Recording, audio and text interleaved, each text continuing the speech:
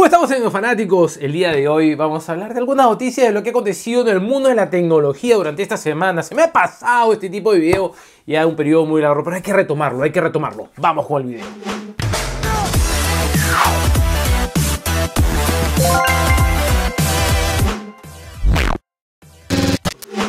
Vamos con la primera noticia y es Nokia que aparentemente en el Mobile World Congress estarán presentando el Nokia 7 Plus y el Nokia 1. El Nokia 7 Plus, como ustedes pueden ver en la imagen, que es una imagen filtrada, y también, bueno, se, ha filtrado eh, cierta información, como por ejemplo incluiría una pantalla con relación de aspecto 18.9, 4 GB de memoria RAM, 64 GB de memoria interna, Android One en la versión global, dos sensores o digamos dos cámaras en la parte posterior con eh, flash en LED y un sensor de huella dactilar. El procesador sería el Qualcomm Snapdragon 660. Ahora, ya cuando vamos al eh, Nokia 1, esta versión de gama baja vendría con eh, Android Go. Usualmente este tipo de dispositivos con esta versión de Android eh, eh, incluye, por ejemplo, 512 MB de memoria RAM y 1 GB de memoria interna. Me imagino que este producto va ya a mercados emergentes, así que no creo pues que llegue el Nokia. Bueno, no llegan realmente muchos dispositivos de Nokia acá en los Estados Unidos, pero se ven interesantes al menos estos dos nuevos productos de Nokia.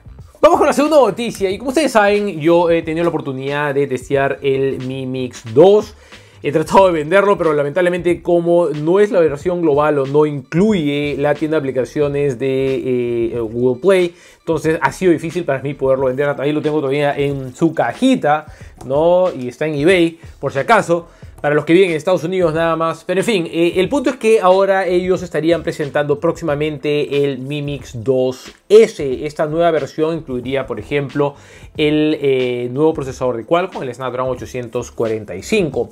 En cuanto a lo que es la pantalla, se ha estado especulando que eh, podría venir muy similar a lo que nosotros vemos en el iPhone 10, o sea, tendría el notch en la parte superior, entonces incluiría la cámara como los respectivos sensores.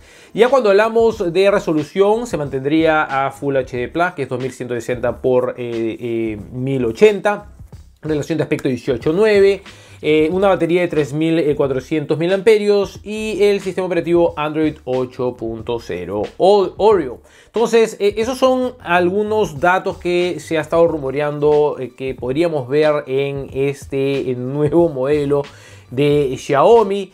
Eh, me imagino que los materiales igual se van a mantener, que es, cerámica que se está utilizando en la parte posterior. El equipo, el que yo tengo, es lindo, no hay vuelta a quedar, pero tengo, como ustedes saben, manejo varios celulares, pues eh, hay, que, hay, que, hay que monetizar esos activos acá en Tecnofanático para poder seguir adquiriendo más productos. Pero eh, veremos, vamos a ver si es que efectivamente es cierto y eh, Xiaomi nos sorprende con este nuevo modelo en los próximos meses. Vamos con la tercera noticia y es sobre los celulares inteligentes Google Pixel que según una información que por ahí se ha revelado en la blogosfera han colocado en el 2017 3.9 millones de unidades. Si lo comparan pues con las ventas del iPhone que en el 2017 fueron 77.3 millones de unidades. No se puede comparar.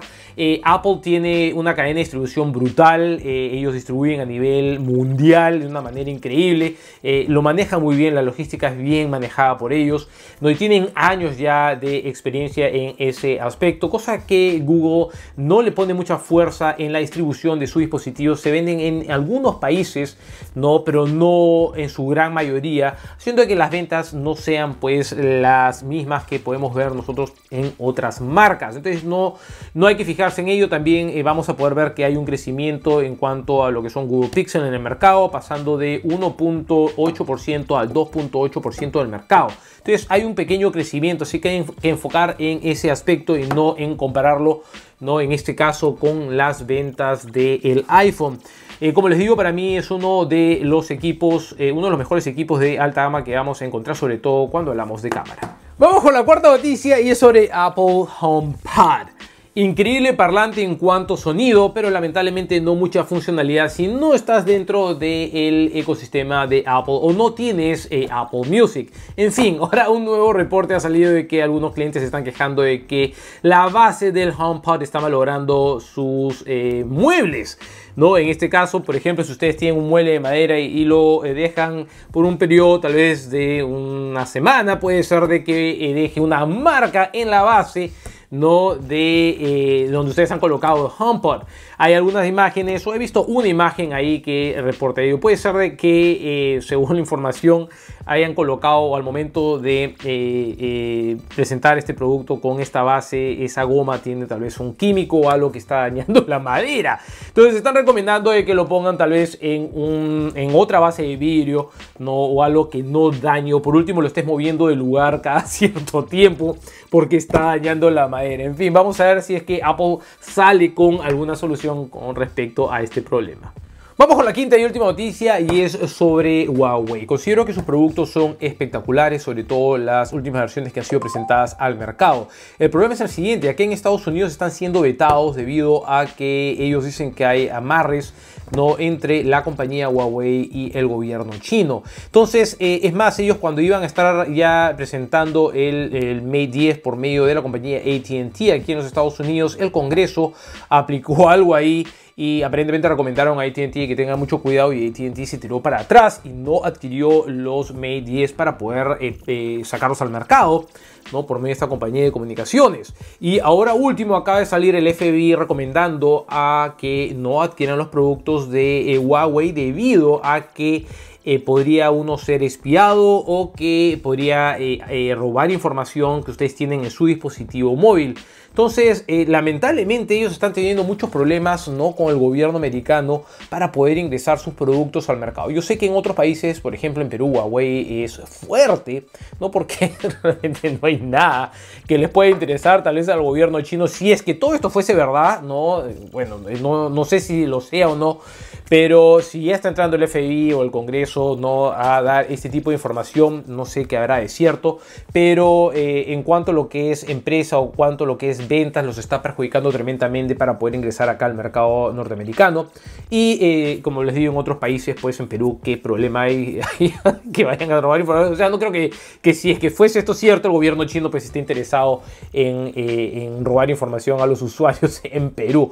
Pero en fin, o sea, es una mala suerte para ellos, mala noticia y esperemos que ellos aclaren esta situación próximamente. Y este ha sido mi videito de noticias del día de hoy, señores. Ya vamos a seguir con este segmento y también respondiendo preguntas. Así que si tienen alguna, ya sea personal, de negocios o de tecnología, debajo de este video en el área de comentarios déjenmela que voy a estar buscando unas 5 a 10 preguntas para poderlas responder en un próximo video.